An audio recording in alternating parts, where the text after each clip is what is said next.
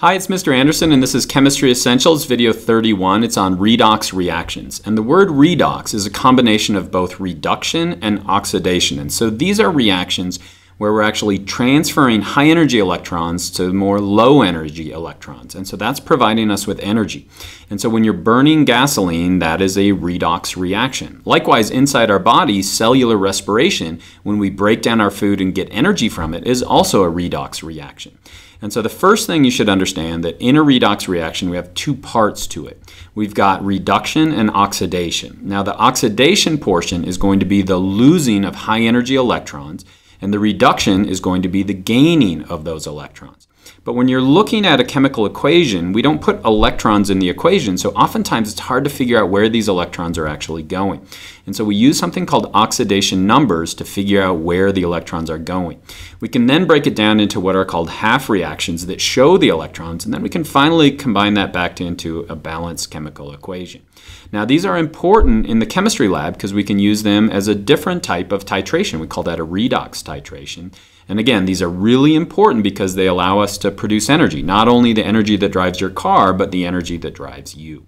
And so in a redox reaction, we're moving high energy electrons from the oxidized substance to the reduced substance. And it's really uh, common to get these two terms messed up. And so the mnemonic that I use is called oil rig. And what does that mean?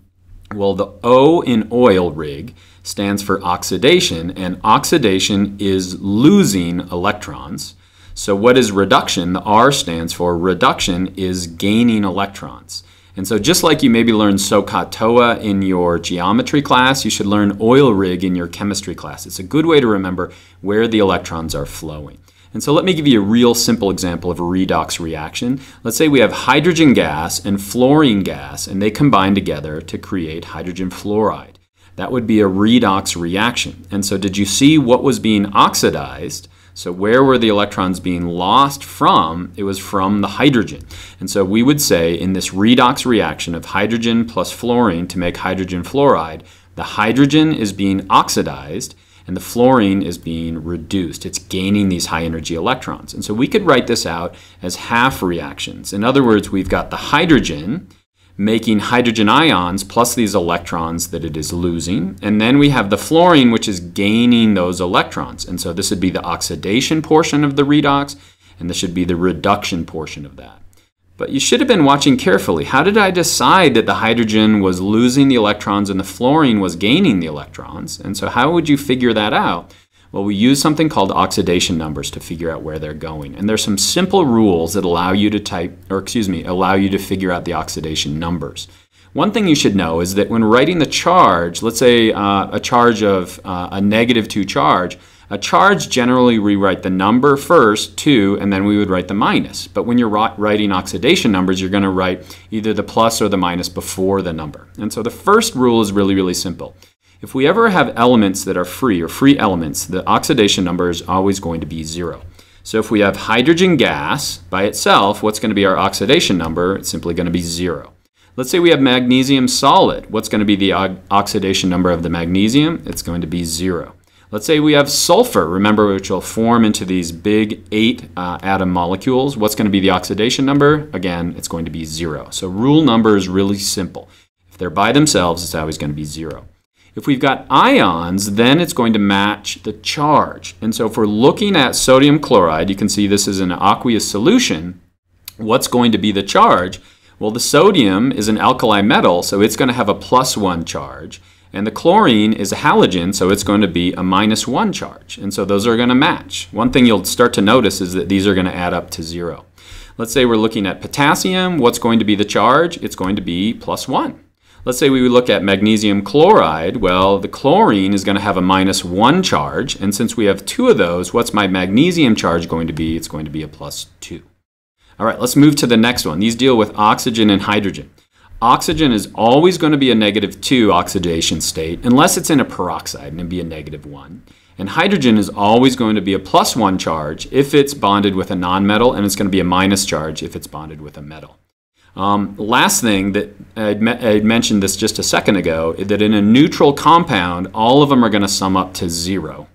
But if it was an ion, they'd sum up to the charge of the ion. So let's start applying that. If we look at water right here, what's going to be the charge of the hydrogen? It's going to be plus 1. And we can see that in a couple of ways. Number one, since it's bonded to a nonmetal, it's going to be plus 1. What's going to be the charge of the oxygen? It's going to be minus 2. And since we have two of these, they're going to sum up to 0. Let's look at this next one. How do we work through this? Well, if we look at the sodium, it's going to be a plus 1 charge. Again, that's going to be in the first column of the periodic table. Where could we go next? Let's look at the oxygen. The oxygen, remember, is always going to be a negative 2. So we could write that in as a negative 2. Okay, so what's our charge at this point? We got two of these sodium, so we're at plus 2 on this uh, left side. Our oxygen, since it's minus 2 and we have three of those, it's going to be 6 minus or, or minus 6 on the right side. So what is the sulfur going to be? It has to be plus 4 because we're going to sum up to 0. Let's look at this ion over here. And this ion here, let's just label what the oxygen is going to be. The oxygen is going to be minus 2. We know that oxygen's always minus 2. And so what's going to be the sulfur in this case? Well, since this is minus 2 and we have four of them, that'd be minus 8. Since the ion has a charge of 2 minus, we know that the sulfur has to be plus 6. And so you can see that the sulfur is actually going to change depending on what compound it's in. So do you think you have those rules? I know it seems complex, but it's really powerful when we're looking at redox reactions. So let's look at a redox reaction. Let's say we take some magnesium solid and we just put it in hydrochloric acid. What's going to happen? Well, you're going to start to see bubbles show up. And so those bubbles are going to be hydrogen gas. And this is a redox reaction. And so we're producing hydrogen gas on the right side of the equation. And so what we can do is we can go through this reaction and we can start writing down the oxidation numbers. And so let's start with the magnesium. Magnesium is all by itself, so what's its charge going to be? It's going to be zero. Now if we look at the hydrochloric acid, we could start with the chlorine ion since it's an aqueous solution. And so that's going to be a minus 1. What's our hydrogen going to be? It's going to be a plus 1. So now we got our oxidation states here. Let's go over to magnesium chloride. So this is also, also an aqueous solution. So we could start with the chloride. That's going to be minus 1. Since we have two of those, what's our magnesium going to be? It has to be plus 2.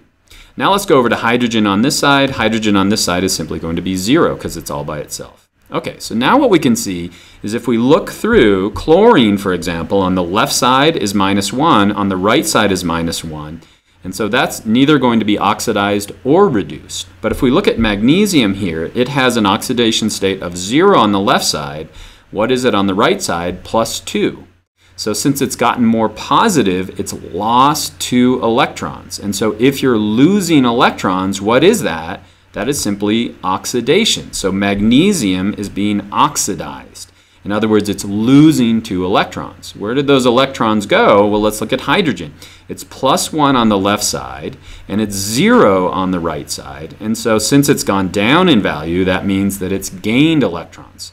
But you might say, well, it's only it's gained one electron. But again, you could look at the coefficient out here. Since there's two of these, we've actually gained two electrons. And so that would be the reduction portion of this uh, equation. So now we could write the half equations for this redox reaction. The first one's going to be the oxidation. We have magnesium as a solid, and it's losing those two electrons. And then if we look at the hydrogen, the, the reduction portion is going to be this. The hydrochloric acid is being reduced. In other words, it's gaining those electrons that are lost from the magnesium itself. And so let me give you a practice problem. Right here we've got manganese plus lead nitrate is going to make manganese nitrate plus lead solid. And so what you should do is write out the equation, figure out the oxidation numbers of all the atoms in this equation, then figure out what is being oxidized and what is being reduced, and then try to write out those half reactions. And if you think you have it right, you could try to post some of your answers in the comments down below. And so what are some applications of this? The first one would be titrations. Remember, titrations are always used in stoichiometry. We're trying to figure the amount of an unknown. And so a great example of a redox titration would be the Winkler method. And the Winkler method is used to figure out how much oxygen is in water.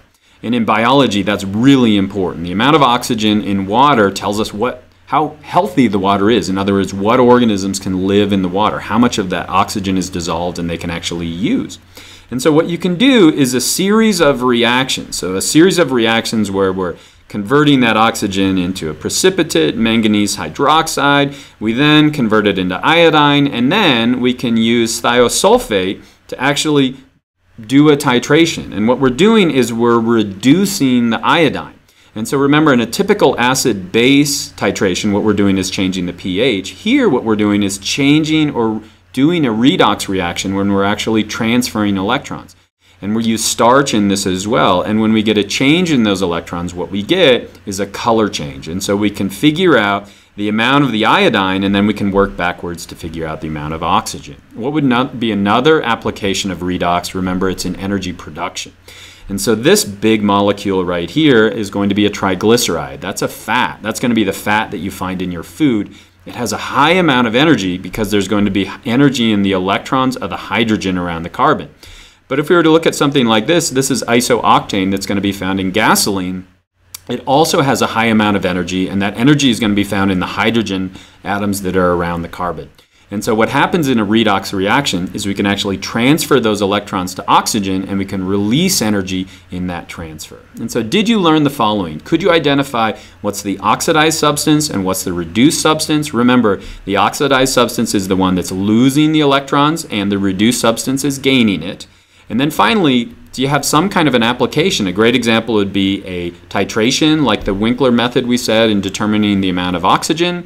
That's redox reactions, and I hope that was helpful.